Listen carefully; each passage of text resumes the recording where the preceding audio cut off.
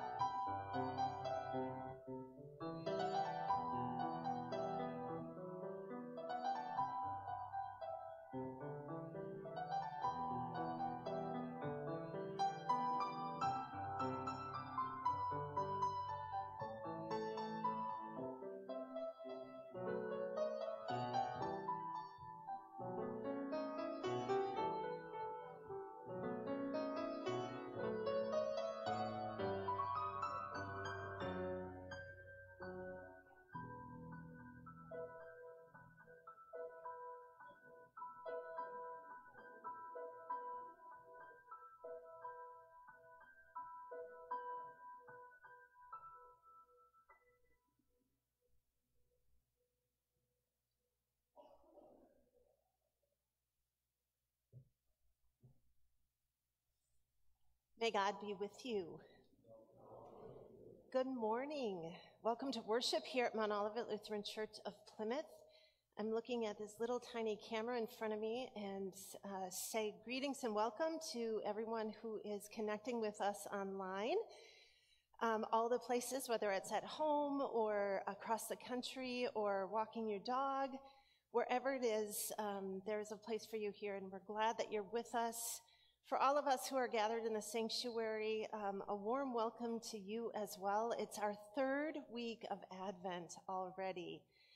And so, uh, with all the colors of the season, that deep anticipation of blue, water, and sky, and these old stories um, in the Gospel of Luke that remind us that God did have a specific plan, and it wasn't for certain until people actually said yes and spoke and embarked in the places that they were at uh, to make this story um, come back to us. And I think we need it now more than ever to hear um, there's this undercurrent of promise in our lives, even when we get distracted, to go back and hear these stories again. So our Advent wreath is here, our choir is here.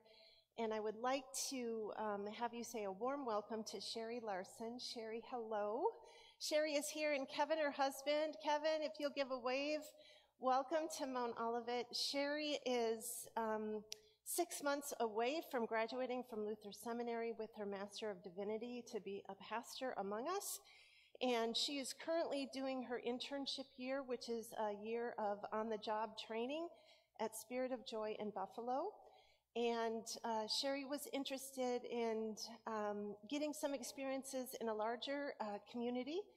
And uh, we said, yes, absolutely. So Sherry is here with us. She will be here with us regularly in worship, both to preach and to preside and to walk with us on staff as we do all the things that we do here. And Sherry, it's just a joy to have you here. And thank you for Spirit of Joy for having them pivot as they do so you can share this. And um, please, after the service, um, say hello to Sherry and um, Kevin as well. And um, I told her this is a good place to learn, and it's not about perfect, it's about being real. And uh, this work that we have around us to proclaim God's love through Jesus Christ. And it's a reminder of what the church is still up to in the world, training new leaders um, among us. And that's exciting for us as well. So, with that, Carlson family, Ella, hello, Kelly and Heather. Uh, we're so glad you're here um, to be a part of lighting three candles today on the Advent wreath as we sing O Come, O Come, Emmanuel.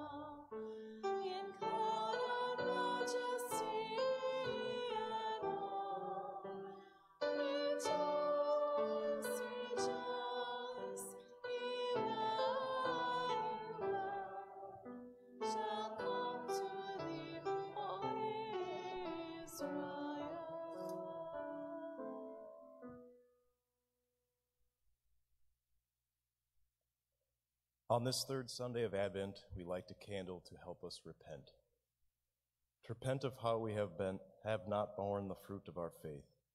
Though we think our good works can't really matter, this candle illuminates the truth that even the dimmest light glows with possibility and promise. Though we wonder how our witness makes a difference, the Holy Spirit's light radiates from our acts of love and mercy. And so we respond, what then should we do? Blessed are those who believe that the fruits of the Spirit are ours to bear. Please stand as we sing together.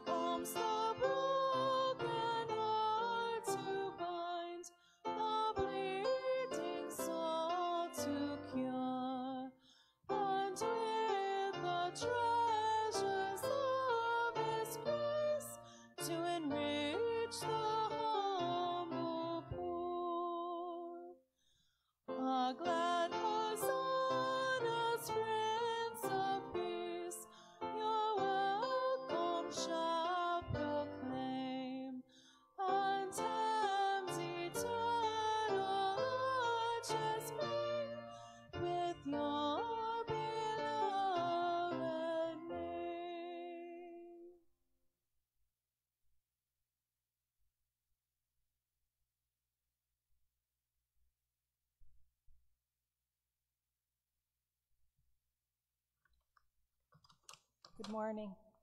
Today's reading is from Luke chapter 3. John said to the crowds that came out to be baptized by him, You brood of vipers, who warned you to flee from the wrath to come? Bear fruits worthy of repentance. Do not begin to say to yourselves, We have Abraham as our ancestor. For I tell you, God is able to, from these stones, to raise up children to Abraham. Even now the axe is lying at the root of the trees. Every tree, therefore, that does not bear good fruit is cut down and thrown into the fire. And the crowds asked him, What then should we do? In reply, he said to them, Whoever has two coats must share with anyone who has none, and whoever has food must do likewise. Even tax collectors came to be baptized, and they asked him, Teacher, what should we do?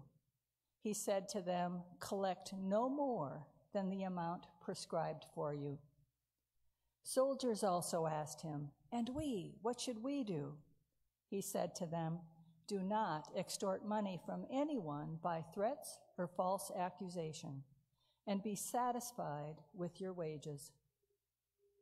As the people were filled with expectation, and all were questioning in their hearts concerning John, whether he might be the Messiah, John answered them all by saying, I baptize you with water, but one who is more powerful than I is coming. I am not worthy to untie the thong of his sandals. He will baptize you with the Holy Spirit and fire. His winnowing fork is in his hand to clear his threshing floor and to gather the wheat into his granary, but the chaff he will burn with unquenchable fire. So, with many other export, exhortations, he proclaimed the good news to the people. The gospel of our Lord.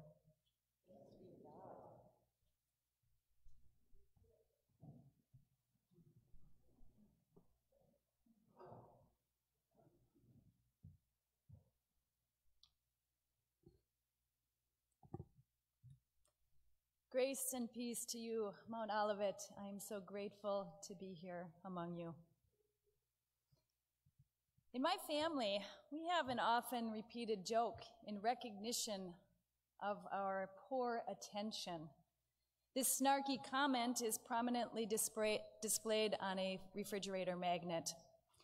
Sorry I misunderstood you, but in my defense, I wasn't listening.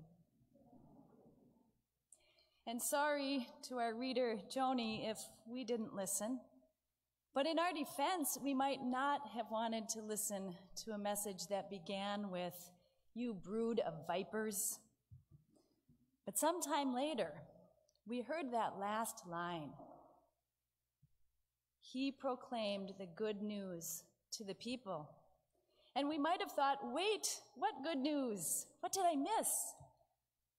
But I urge you, and I push myself to dig back into this text. Some of the crowd gathered around John that day might have remembered his birth, how John's father, Zechariah, was rendered speechless by the angel Gabriel for the duration of Elizabeth's pregnancy. They might remember asking about this eight day old baby John, What will this child become? Well, here he is, this guy from the wilderness. Last week, Pastor Chapman called him a disruptor, shouting about vipers and wrath. And they're wondering to themselves, could this be the Messiah? Through his fiery words and confrontational preaching, John is doing what he was called to do, preparing the way. And I blame Handel's Messiah for making me think that it might be beautiful. Every valley shall be exalted, every mountain and hill made low, and the crooked paths made straight. And then I really listened to those words. Filling valleys, raising mountains, straightening roads, that kind of work requires some heavy equipment. It's going to be noisy and it's going to be messy. And it will overturn some things. Things like attitudes, expectations, and behaviors. And here's this messenger, John, fulfilling God's call by saying, Bear fruits worthy of repentance. And I thought of the fig tree sculpture in the narthex and how we know a tree by its fruits. The Good News Bible translates the verse this way Do those things that show that you have turned from your sins. Repenting, turning back from sin and toward God, will disrupt our lives and our habits in the same way as taking a bulldozer to mountains and valleys does. Repenting is not the quick, I'm sorry of a small child who doesn't know what to be sorry for, but just wants to be out of timeout. Repenting is a specific and a real change. John preaches that there's an axe right there, prepared to cut them down and throw them into the fire. So it's no wonder they interrupt him and ask, What then should we do? John doesn't need to think about the answer. He says, Share with those in need. And it sounds simple. And is it too simple? There's a story in Second Kings about Naaman, a great ruler and a commander of the army who has leprosy. He sends a whole lot of money in a letter to the king asking for a cure. And he's likely expecting the king to send some prestigious doctor or some expensive medicines his way. Instead, the prophet Elisha offers a remedy. Go wash in the Jordan River seven times, and you will be healed. That's good news, right? Naaman wanted nothing to do with this. He wanted to do something a lot harder, something grander, maybe something he could make a show of. He suggested that the Jordan wasn't even a good enough river to heal him. For Naaman, taking the word of a lowly prophet meant setting aside his position, his pride, and his money. It was costly to his reputation for the great Naaman to go on the cheap. But when he finally relented, he was healed. All that to say, maybe what sounds simple might have some deep complexities. Share with those in need sounds simple, but do we do it? Often enough? Generously enough? And are we able to keep it simple, or do we need recognition? And can we share with those in need over and over and over again without becoming resentful and selfish? And sometimes it's about how do we start when a need is so great, as it was shown with the drone footage of the tornado damage in the south. I think John would just say, start sharing. The tax collectors, for good reason, a disliked and a distrusted group, were the next to ask what they should do, and John says, quit cheating. Again, it sounds simple, but would it be? Maybe the whole system depends on skimming off the top. So, could a tax collector, or even a handful of them, stand up against this entire system? What might their honesty cost? Whistleblowers, then and now, are often not received well. To be worthy of repentance, tax collectors will need courage. They will need to be ready for the fallout. And to the soldiers, John says, Don't use your power to take advantage of others. Again, it's an action worthy of being called repentance because it won't be simple. The soldiers have been trained to be powerful, to be unyielding, to honor a hierarchy. They may face punishment or demotion if they step out of line. It's a little unsettling, isn't it? Because we are all part of larger systems. Doing the right thing might not be obvious or easy. I buy a lot of books for classes at seminary, and I struggle with both supporting my local Buffalo Books and Coffee store and buying books that I can afford at larger retailers. I try to do both. I remember trying to be an ethical consumer by refusing to give my business to a particular big box store that I understood did not treat its workers very well. My boycott lasted over a year, and I was so proud. Then I read that this same company because of its power in the market, is able to demand more environmentally friendly packaging and shipping from its vendors. And I care about the earth too, so should I shop there or not? Or it can be a little different than that. Here we are, keeping distant from each other, limiting our interactions, and wearing our masks. Such actions are right and good and healthy and so tiring and costly to our relationships, to our enjoyment, to our mental health. That's what it means to bear fruit worthy of repentance, to change our lives so that we can love our neighbors, work together, and not become weary of doing good. All this talk about repentance sounds discouraging, perhaps even enough to slip into not listening mode again. But it's only the half of it. Repentance is turning from sin, but repentance is also encountering the love, grace, and mercy of God. We are called to repent. God enables us to do so with faith that God gives us. And when we don't repent, God is still faithful and gracious and loving, full of forgiveness, already finding us before we know we are lost. Repentance is an invitation to a richer, fuller life, to a place of love and freedom, integrity and agency. And we must remember that we are not always the main character of the story.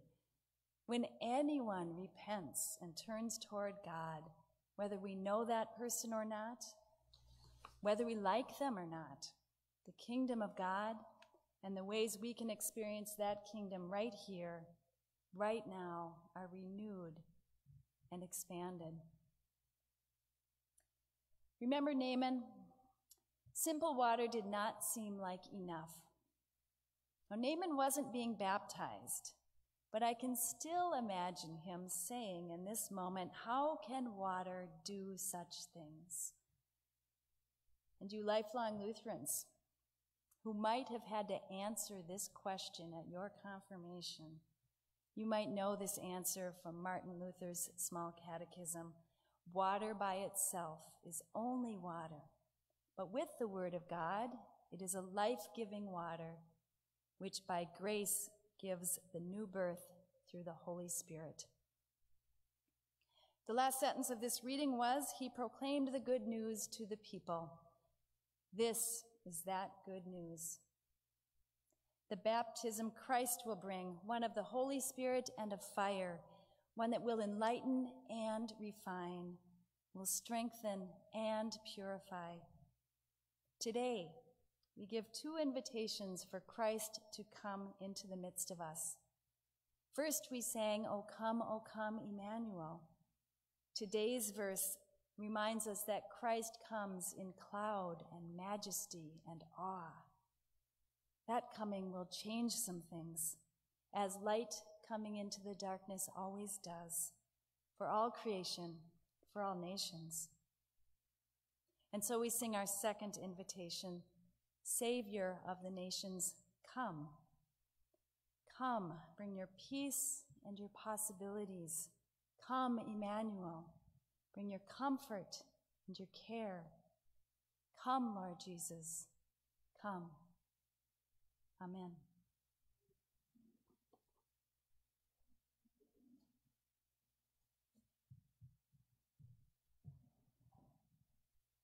Please stand as we sing together, Savior of the nations, come.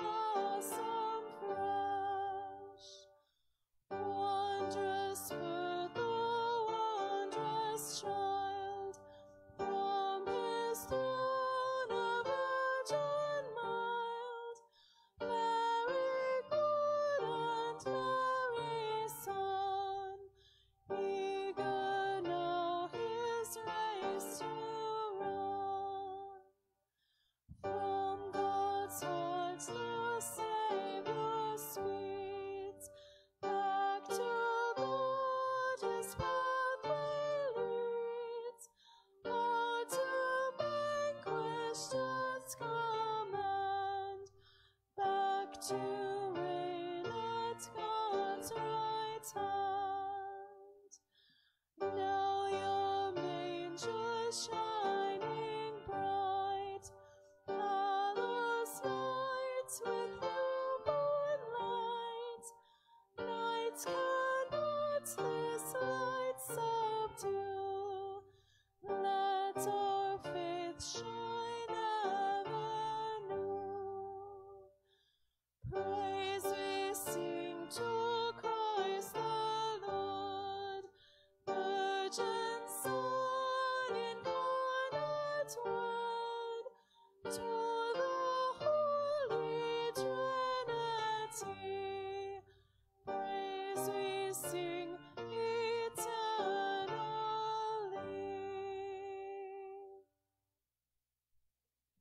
As this Advent good news stirs among us, we confess our faith, the faith of the church, using the words of the Apostles' Creed. I believe in God, the Father Almighty, creator of heaven and earth. I believe in Jesus Christ, God's only Son, our Lord, who was conceived by the Holy Spirit, born of the Virgin Mary, suffered under Pontius Pilate, was crucified, died, and was buried. He descended to the dead. On the third day, he rose again. He ascended into heaven, and he is seated at the right hand of the Father, and he will come to judge the living and the dead. I believe in the Holy Spirit, the holy Catholic Church, the communion of saints, the forgiveness of sins, the resurrection of the body, and the life everlasting. Amen.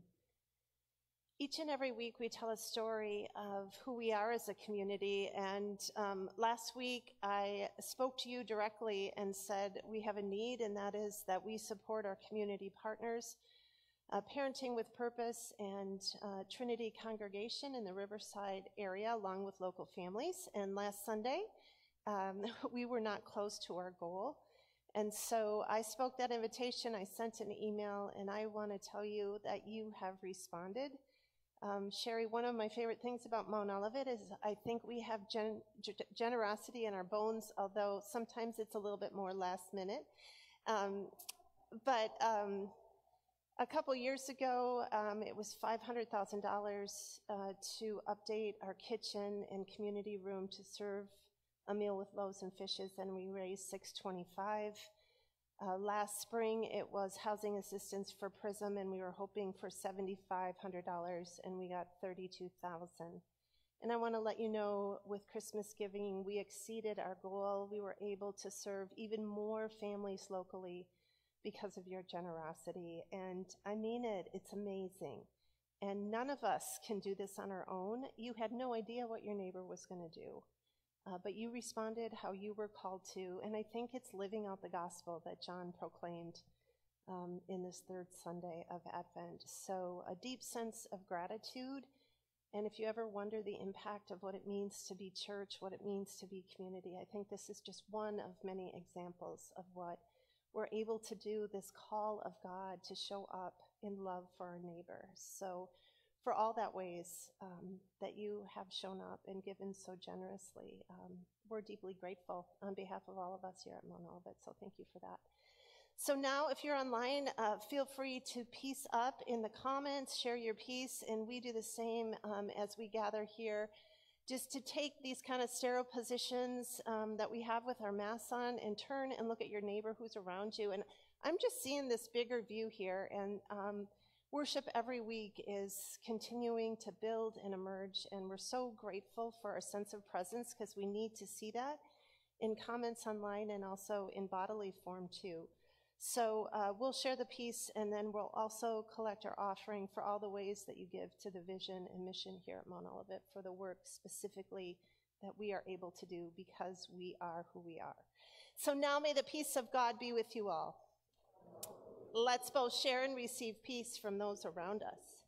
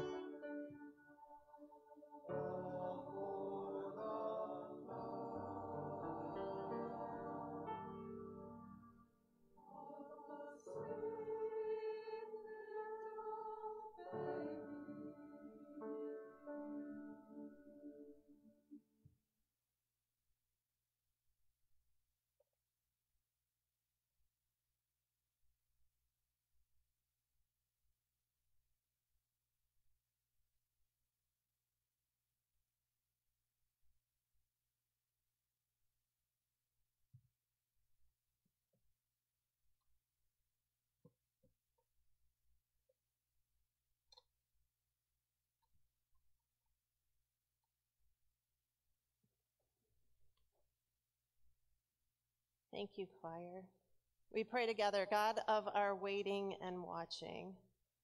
We offer the gifts of our hearts and lives to the service of all your people.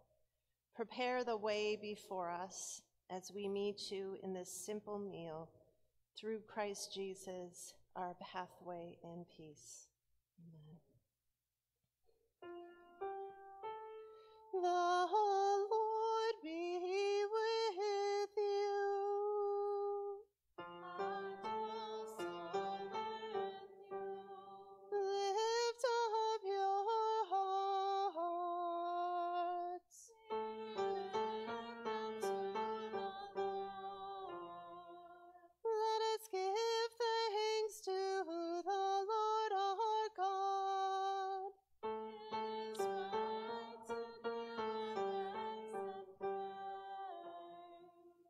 is indeed right, our duty and our joy, that we should at all times and in all places give thanks and praise to you, Almighty and merciful God, through our Savior, Jesus Christ. You comforted your people with the promise of the Redeemer, through whom you will make all things new, in the day when he comes to judge the world in righteousness. And so, with all the choirs of angels, and the church on earth, and the hosts of heaven, we praise your name and join in their unending hymn.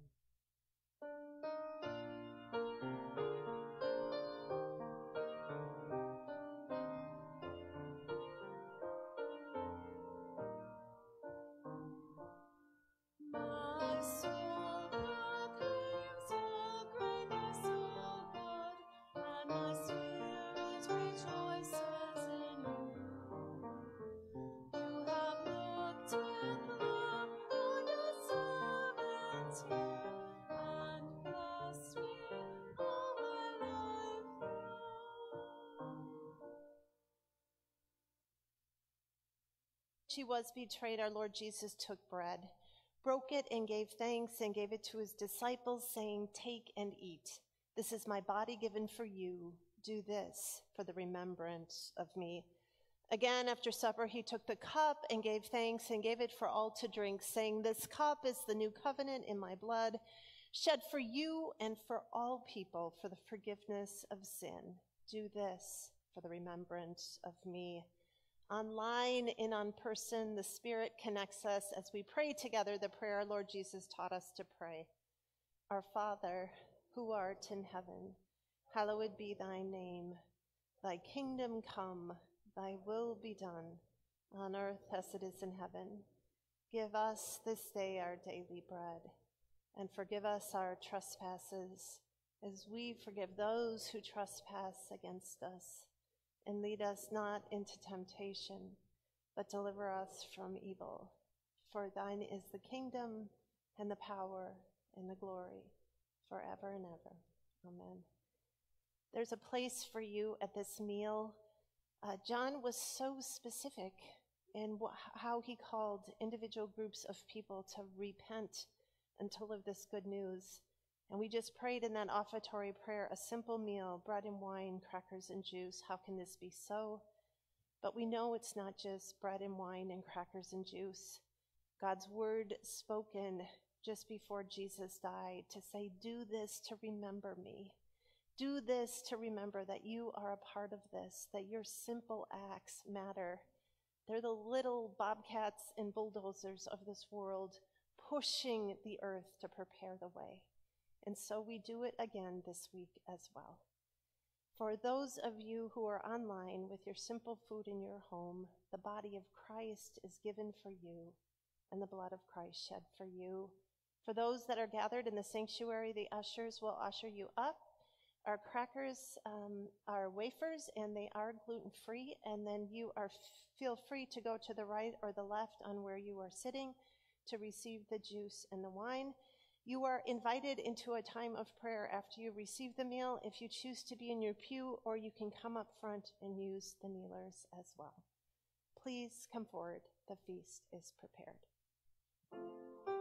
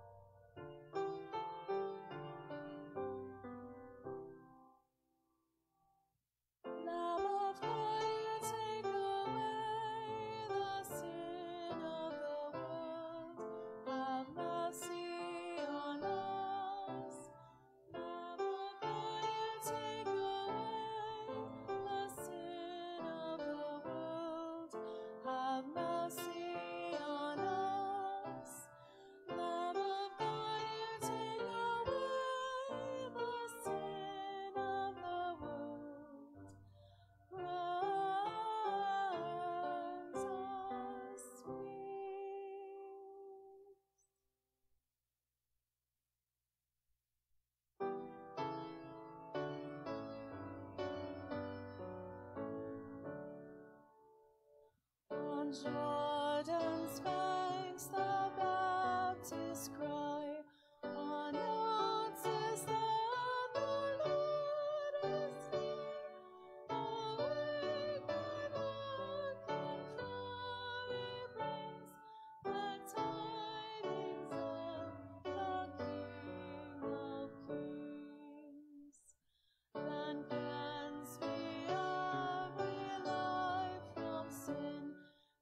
Make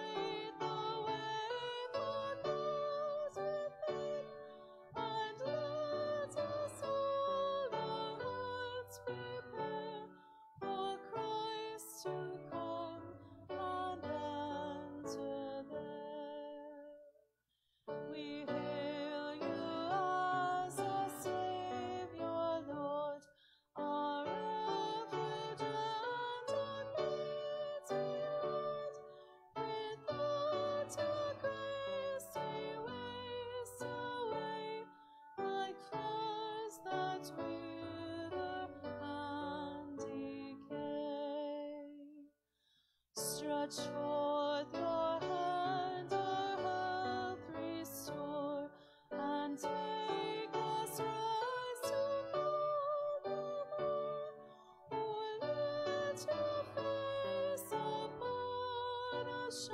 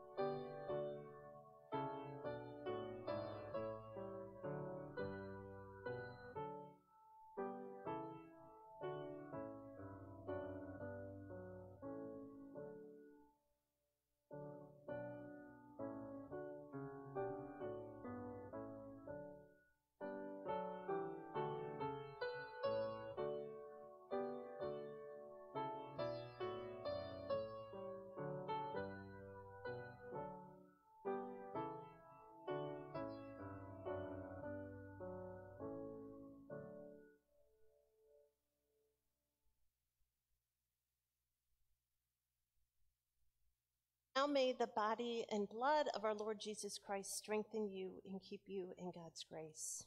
Amen.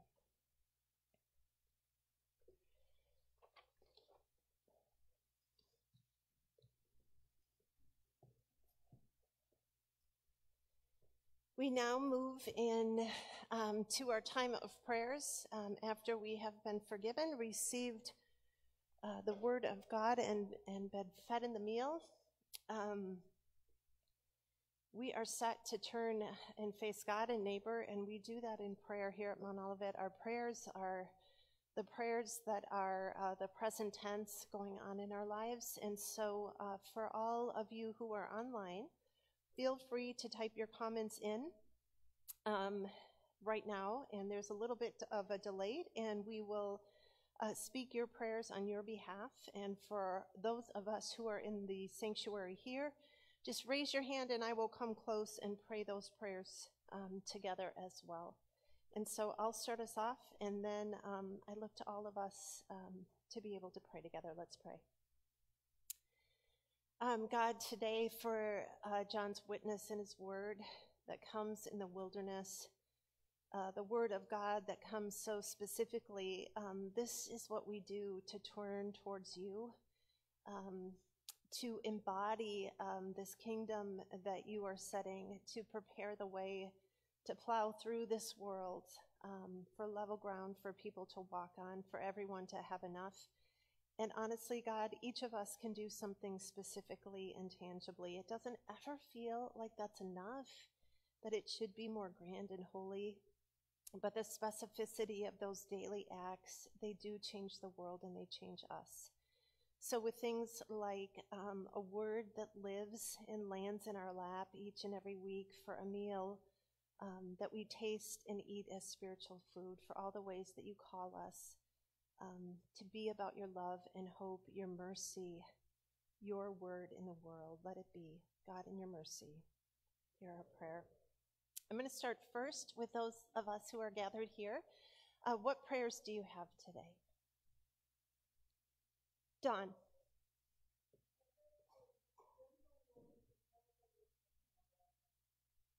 Careful listening. Yeah. Uh, so, Dawn's prayer is a, a, gentle word and careful listening in our homes.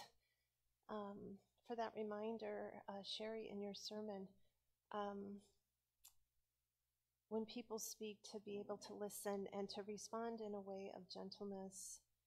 Um, God, may this be so, God, in your mercy. Yeah, Peter.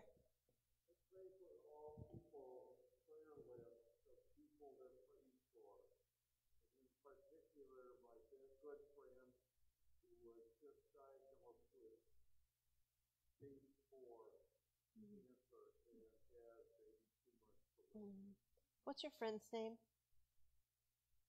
What's your friend's name? Larry. Larry. Um, so, Peter, we we pray your prayer today. Uh, those specific people whom we are praying for, their particular names. All of us are holding those on our hearts today. Um, for Larry, with this fresh diagnosis of stage four cancer. Um, for news that knows that death is certain um, for the waiting, for the not knowing. And God, in that known and unknown, uh, for love to come, uh, for Larry to know uh, that even in death, um, God will make a way. And Peter, for all the ways that you will show up for Larry and others around him, for his family, to walk in these times um, where the way ahead is not clear for healing for Larry, uh, God, we speak now those individual names we each have, those people we are praying for.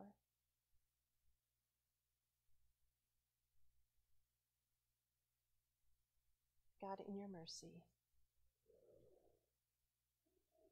Yeah, Tammy.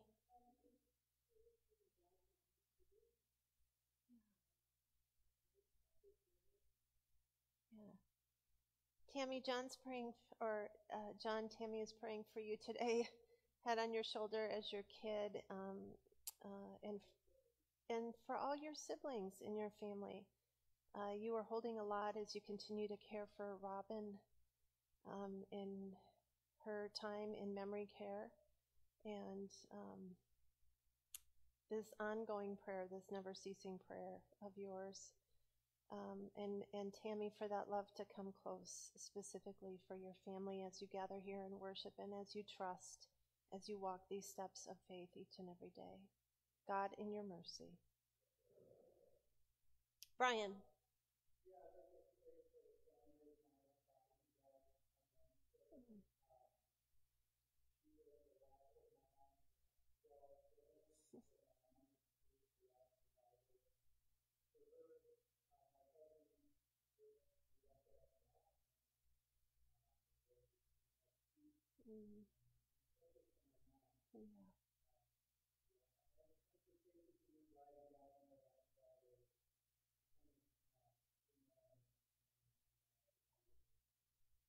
So, Rick, Rebe- Rebecca, and Ross, your cousins, uh, for your Aunt Bonnie who died this week, we prayed for her last week in her last days. Um, can we just speak that your mom comes from a family of 12 kids? Amazing. 13 in total. And um, Darlene, we're praying for you um, as you are the last sibling, the last generation of your family.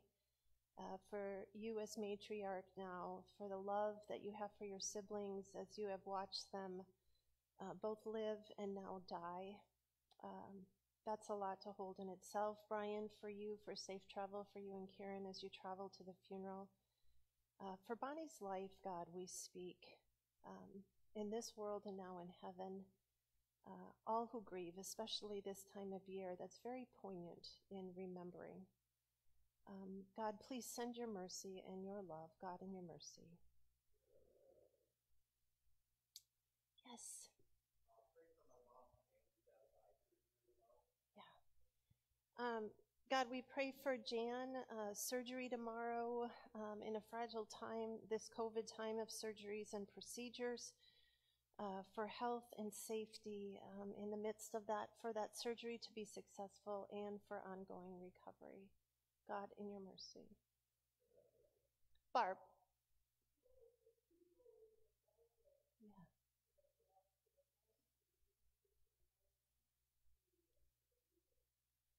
Yeah, we take an outward face, God, um, into the world and uh, to those people impacted by tornadoes in the midst. That aerial view that you talked about, Sherry, of being able to see the devastation for the loss of property and hope and lives uh, for this rebuilding. And the only way from where they are now to restoration is every person to be a part of making that happen. Um, God, how you are working in the midst of that day by day, person by person to build community. Um, help us uh, be compassionate um, to those people, especially in dire need after disaster. God, in your mercy. Yeah, Mark.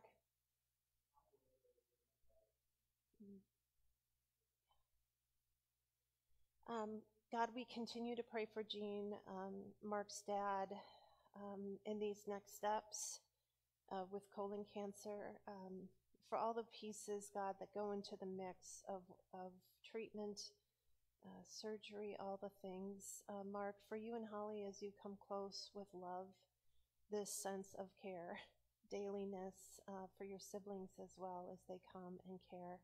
God, we pray for healing for Jean in this time of waiting and unknown. God, in your mercy. Yeah, Nancy.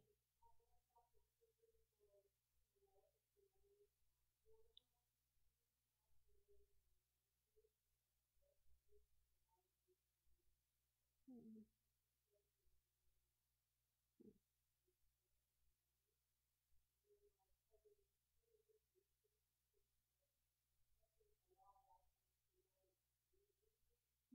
Mm, I remember that.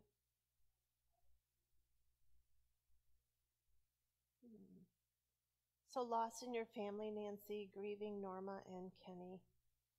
Um, for all that your family is holding, um, the trauma of an accident, and uh, for Norma, who um, in her 90s chose to die at home. Um, God, for all these specific stories of both life and death, um, this promise um, that nothing can separate us from your love. Nancy, for your family as they grieve. For Norma and Kenny's life, God, we pray, God, in your mercy. Yeah, Becky.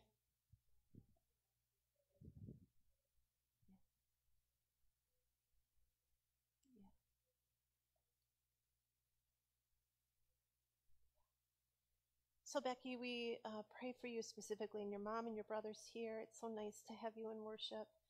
Um, this kind of crisis that we pray for often here at church in caregiving, where you go from living at home to not being able to live at home.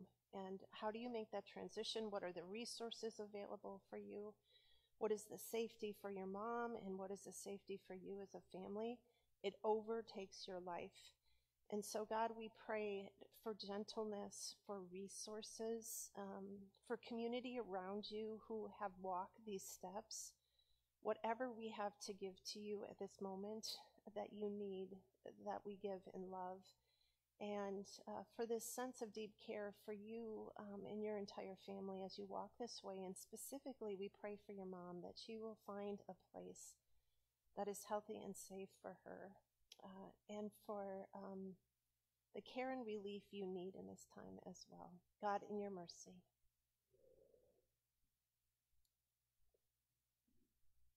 Uh, we pray for the family of Jan Grindy. Scott Grindy is our business administrator. Scott and Kathy, longtime members. Uh, Jan died um, last last Sunday night. We had prayed for her in church. Her funeral is next Sunday at three o'clock here at Mount Olivet uh, for her husband Ray of so many years of for Jan's gentleness um, and love that even in the time of death radiated out into this world, and for that family as they prepare, especially in this this time of Advent, uh, remembering, as we had said, just a really um, poignant time uh, for the coming of family and community to celebrate Jan's life. We pray, God, in your mercy. Okay, dear friends online, let's get to your prayer and.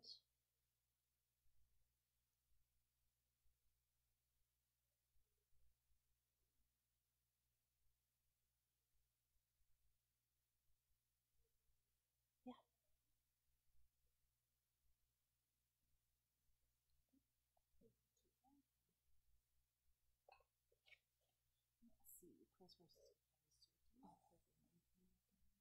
Yeah, Teresa, we pray with you, uh, your sister Kelly's surgery um, on her brain aneurysm this coming Wednesday. Uh, Teresa, uh, we pray for you in this fragile time. Um, uh, brain aneurysm and all that uh, teetering on the, the sense of life and death. Uh, for healing, uh, for comfort, for peace, uh, Teresa, for you, God, in your mercy. Yeah, Jolynn, uh, we echo the same prayers prayers for the tragic victims of Kentucky storms, for saving grace and locating survivors, and peace and comfort to those suffering uh, life losses. Uh, we just speak that prayer today. God, make it so, God, in your mercy.